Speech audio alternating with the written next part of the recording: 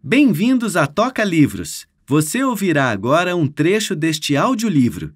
Antes de continuar, deixe seu like, se inscreva no canal e ative o sininho para acompanhar todos os lançamentos e novidades. Vamos juntos dar vida aos nossos livros preferidos.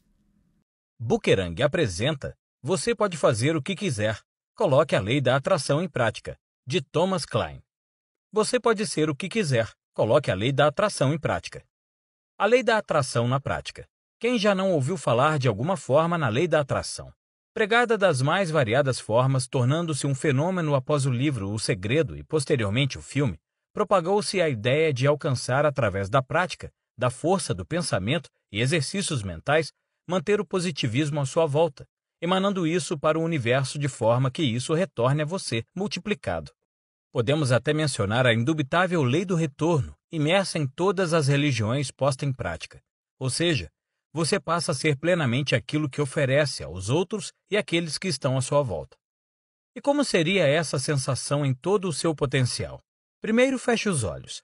Tente imaginar se tivesse todo o dinheiro que precisa e deseja, e nunca mais precisará se preocupar com o pagamento dos boletos no dia seguinte. Se pudesse amar e levar para a cama todas as pessoas que conhece e deseja, ou mais ainda, que pudesse sentir novamente todos os mais que já viveu de mais pura felicidade e êxtase.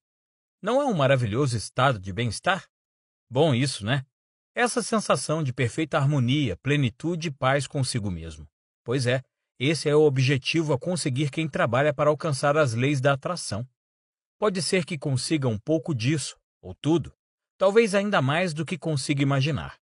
Do que vai depender? De você, da sua força de acreditar e concretizar.